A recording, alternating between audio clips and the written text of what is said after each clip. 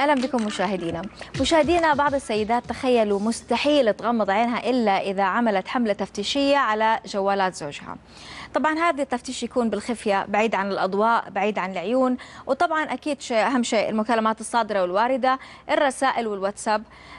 ثم ترجع الجوال إلى مكانه، ليه السيدات تقوم بهذا الفعل؟ وهل هو فعلا يعني هل الزوج طرف فيه؟ هل الزوجة ممكن هي اللي تجيب المشكلة لنفسها أو تكون هي سبب المشكلة من الأساس؟ التفاصيل مشاهدينا مع ضيفتنا الأستاذة سلمى جابر ال محبوب الأخصائية الاجتماعية، مساء الخير يا سلمى. مساء النور هلا مرحبا حبيبتي. آه سلمى بداية آه فعلا ليه هل بداية منتشر عندنا ظاهرة أن الزوجة تفتش زواجها وتقوم بهذه الحملات التفتيشية؟ أول شيء حابة أرحب فيك حبيبتي وحابة أرحب بالمتابعين وبخصوص هذه المشكلة اللي إحنا تطرقنا لها صراحة مشكلة هي منتشرة كثير بوقتنا هذا. طب ليه؟ يعني آه تعتبر من المشكلات البارزة حاليا لأن إحنا في وقت العولمة وقت التكنولوجيا. يعني الزوجة هنا تضطر إنها تبدأ أكثر. يعني تضطر؟ تبدأ حملات تبدأ حملات تفتيشية أكثر لزوجها. طب هذه الحملات التفتيشية عفوا في ناس ما بين حرص ولا تخون وفي ناس إن لا إن الزوج يعني لازم أتصرف معه بهذه الطريقة. مم، هل على؟ حسب. هي على حسب من مرأة لمرأة. في بعضها غير مبالية يعني ما يهمني. راح مع واحدة ثانية قاعد مع واحدة ثانية ما يهمه ما تفرق عنده. أهم شيء إنه حاط لي متطلبات يوفرها لي. بعضهم لا. طب صعبة ما في شك ما في غيرة ما لا. في شيء؟ آه حواء مو واحدة. مم. يختلفون. يعني كلنا غير عن بعض. يمكن أنا أشك أنت ما تشكين. كلنا نختلف عن بعض. فإذا كنا إحنا راح نقول عن الأسباب اللي تخلي كل واحدة منهم تخطي هذه الخطوة يختلف من واحدة لواحدة.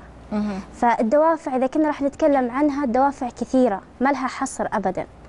يعني يبغى لنا يوم كامل نتكلم عنها. فمن ضمن هذه الدوافع تفضلي. يعني خلينا مثل ما طالما تكلمتي في الموضوع أكثر الأسباب اللي تؤدي إن ال- إن الزوجة تفتش وراء زوجها يعني؟ أكثر الأسباب أوقات إنها تكون دوافع مرضية. يعني يمكن فيها مرض نفسي ومن أعراض هذا المرض يخليها غصب عنها هي تفتش. يعني شيء مو بإرادتها. وأوقات يكون دوافع بيئية يعني من الزوج نفسه. هو اللي يخلق الشك لنفسه تصرفاته آه، إهماله تغير المفاجئ عليها آه، أشياء تدفعها إنه ليش هو صار شيء ثاني مو الشيء اللي أنا كنت معاه وبعض الأحيان من الأهل. بعض الأمهات الله يصلحهم يعني على بالها إذا عطت بنتها نصيحة يا بنتي فتشي ورا زوجك آه، شوفي لبسه شوفي ثوبه في شيء يعني راقبيه. على أساس أنه تمنع نفسها أنها تيجي على بنتها ضرة ثانية. مثل ما يقولون طبينة. طب طبعا. هذه هذه آراء المختصين لكن مشاهدينا طبعا قمنا طبعا خلال آه، تحضيرنا لهذه الفقرة في سيدتي بعمل استطلاع أخذ بعض الآراء حول هذا الموضوع مشاهدينا. خلينا نتابعها ونرجع لضيفتنا الكريمة.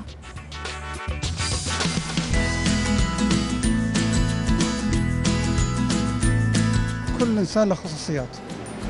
وزي ما تقول آه، تبادل الثقة. وعدم الإحراج أو كذا. أكيد من حق الزوج إنه يفتش جو جوال زوجته من مو مو مواثق منها بس منشان يطلع على الخصوصيات اللي بتاعتها. إي أنا أشوف إنه لي الحق يفتش جواز زوجه يعني لي الحقية أنا؟ لا ما يحق لي أفتش. لأن حاجات ش- ش- شخصية. يعني تخص الشخص يعني نفسه يعني ما لا يعني ما فيها مشكلة بس إنها يعني إذا فيها أي خصوصيات وكذا قد الناس تسوي رابطات وتسوي أرقام سرية خاصة وكذا لكن الاستطلاع وحسب الثقة اللي بينك وبين زوجتك يكون يعني رابط قوي. والله أتوقع أنها حلالي يعني. ثانيا ما بيني وبينها أمور آه، خصوصيات. يعني أنا لما أتحقق من حاجة أكون أنا حتى شاكة فيها هحزن. و... وممكن أحزن وأتصرف تصرف غلط. لكن ممكن أنا أتجاهل الأمر دوت أو أحس بزوجي يعني من من العشرة وكده وأحس بزوجي وأحس هو تصرفاته عاملة إزاي وأنا أنظمها. لو كان ما في ثقة خلاص يعني يدمر كل شيء وبظل كل حياتي أراقب أراقب. وفي حكمة تقول إنه من راقب الناس ما تهمن. فأني أفضل إنه ما ما أدور وراه وكذا وخلاص يعني أكون واثقة فيه رجعنا لكم مشاهدينا وأنا بالنسبة لي بسأل سلمى عن الآراء اللي سمعناها واحد واحد تقريبا. الرأي الأول كان يتكلم عن الخصوصيات إن كل شخص له خصوصياته تحديدا مع الأرقام السرية والكود مم. اللي ينحط على الجوال. تعليقك على هذا الموضوع يثير الشك ممكن يستفز المرأة أكثر ولا لا؟ أيوه. مهم. يعني هذا كثير من الحالات اللي شفناها آه إذا هو حط رقم سري وهو على أساس انها هي ما عندها خلفية عن الرقم السري. هي تكشف الرقم السري إيش؟ تراقبه من بعيد البيت البعيد تعرف الرقم عن إيش وتدخل تفتش من وراه. يعني بالعكس كل ما حط رقم سري يجيها فضول أكثر. الجوال مفتوح عندها ما راح تفتشه. بس إذا في رقم سري لا أكيد إنه في إنا في السالفة. مهم. طيب الغيرة. البعض وصف الموضوع بإنه غيرة يعني نوع من الغيرة على الطرف الآخر. نفتش بالجوال. بعض الغيرة جنونية. يعني في غيرة منطقية عقلانية. في غيرة تخرب على الفرد حياته. يعني خاصة الشك إذا دخل على بين الزوجين هنا راح يسبب ثغرات بكل شيء بينهم.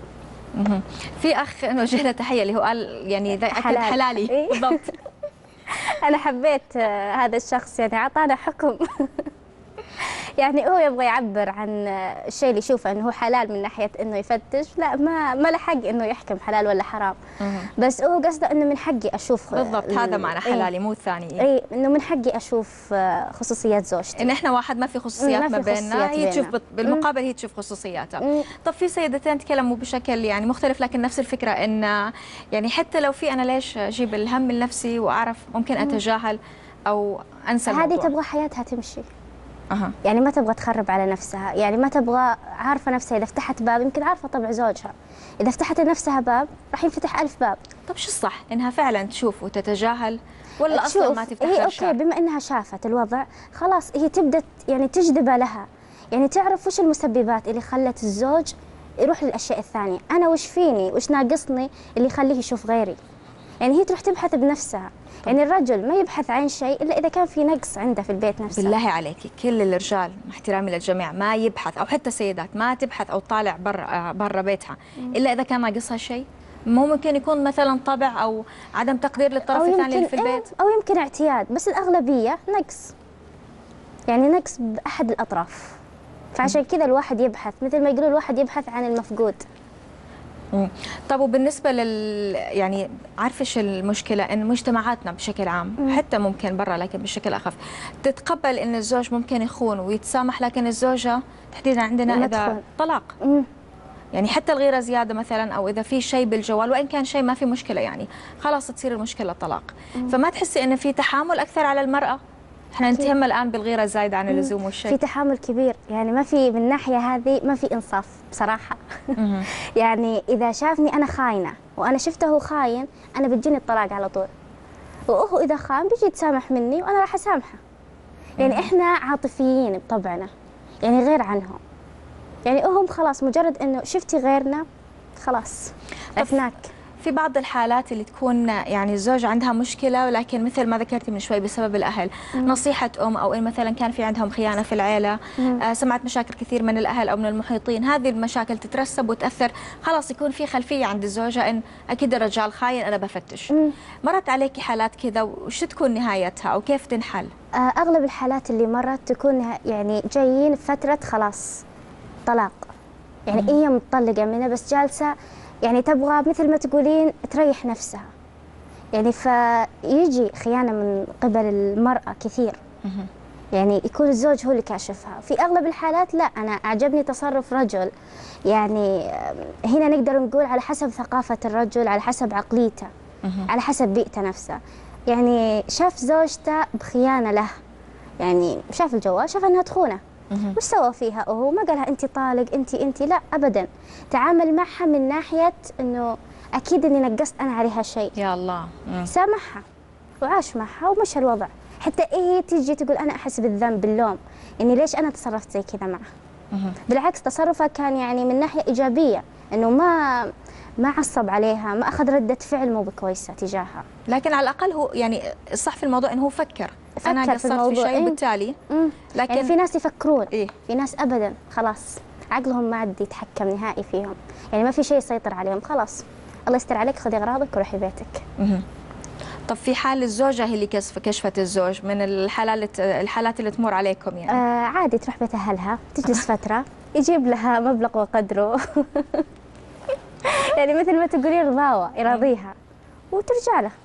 بس إيه. ترجع له يعني من ناحية إنه ما أبغى أتطلق علشان القيل والقال علشان الناس يعني علشان ما يقولون إني مطلقة راح أحاول إني أمشي حياتي طب في سيدات شكوتهم العكس إن زوجها وإن كان يجيبها مثلا عن طريق المزح. إنه يفتش جوالها مم. يعني مثلا تحاول تشرح في محادثات خاصة كذا إلى آخره لا حياة لمن تنادي.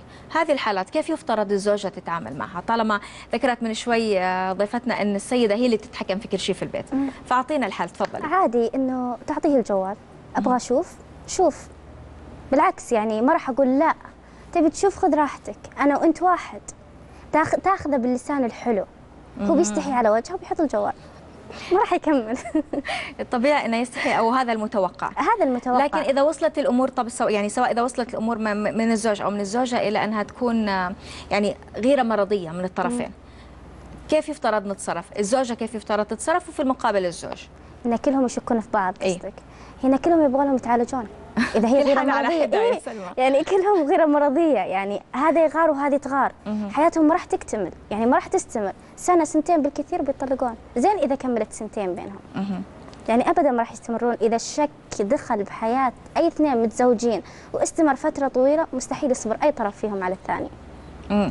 عارفة يعني هذه دنيتنا الجديدة الجوالات أكيد. موجودة في كل. بيت وسائل التواصل الاجتماعي يعني ما تقدري تحكمي على الشخص خارج نطاق المنزل أو حتى هو في المنزل لأن في العالم الثاني شغال أكيد و- وبنتكلم أكيد دائما عن السلوكيات والأخلاق لكن ما مو دائما تردع مم. كيف يفترض أنا أتصرف في ظل وجود كل كيف أنا كزوجة ممكن أكون ذكية يعني مم. وأتصرف بالطريقة المطلوبة يعني أنتم أدرى. إي إنه بما إني أنا كزوجة أو أنا حابة أقول لكل واحدة متزوجة أو كل واحدة مقبلة على الزواج إنه أنت لا تخلين الشكوك يعني تنغص عليك حياتك تكون بحياتك. حتى لو كانت هذه الشكوك صحيحة ومتأكدة منها 100% ابدا لا تعطين هذه الشكوك أي مجال إنها تخرب عليك حياتك. أنت بدينك مفاتيح كل شيء. يعني احتويه كوني له زوجة وأم وصديقة وحبيبة. يعني آه انت متلكيه بعقلك وأسلوبك وحلاوة لسانك. يعني الحرمة بيدها كل شيء هي اللي تقدر تتصرف. يعني لا تخلين أوقات عاطفيتك إنه تغلب على عقلك. حاولي توزنين بين الشيئين. يعني أنا أفضل إنه إذا هي تصرفت هذه التصرفات هي راح تقدر آه، بنفسها تتحكم بزوجها. يعني مثل ما يقولون مع احترامي للرجل إن الرجل مثل الطفل تقدرين تحتوينه تقدرين تتعاملين معه تقدرين تكسبينه. فكل واحدة عندها قدرتها أكيد إنه كل واحدة مبدعة بهذا المجال ودائما طبعا تعطي نفسها رسائل إيجابية مم، حتى في رسائل حال مثلا إيجابية شكت حتى- مم. شيء حتى لو إنها انكسرت منه ترجع تعدل الكسر هي إذا هي حابة أن حياتها تستمر مع هذا الشخص نفسه. لكن طبعا في حد معين. أكيد طبعا أكيد إنه في limit limit معين بعدها خلاص. إن شاء الله ما أحد يوصل إن لهال limit شاء يا الله سلمى. بإذن الله. سلمى جابر المحبوب أخصائية اجتماعية شكرا لك. ومشاهدينا. فعليا مثل ما قالت ضيفتنا يعني إذا وصلت الأمور ما بين الزوج والزوجة إلى الشك إلى الغيرة خلاص خارجة عن السيطرة هذه تصير شك وممكن تؤدي إلى مشاكل كثيرة. حتى أن بعض السيدات مشاهدينا تجاوزت موضوع أنها تفتش الجوال صارت تبعت مثلا محقق أو أحد يمشي ورا زوجها يراقب الموضوع. فإذا وصلت الحياة إلى هذا الحد ما لها لازمة. ساعتها مشاهدينا يفترض نختار بشكل صحيح ودائما يكون في ثقة والسيدات مثل ما قالت دائما نعطي نفسنا رسائل رسائل إيجابية. أكيد مشاهدينا مستمرين في سيدتي لكن بعد الفاصل.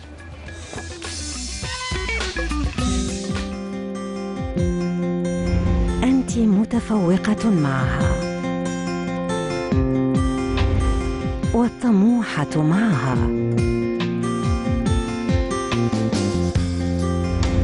السعيدة معها. الرابحة معها. معها أنت الشابة الدائمة سيدتي سيدة المجلات العربية.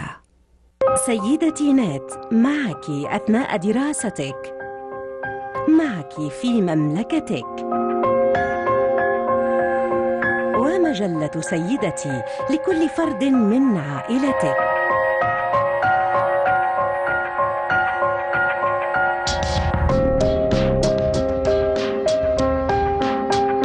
سيدتي وموقعها الجديد.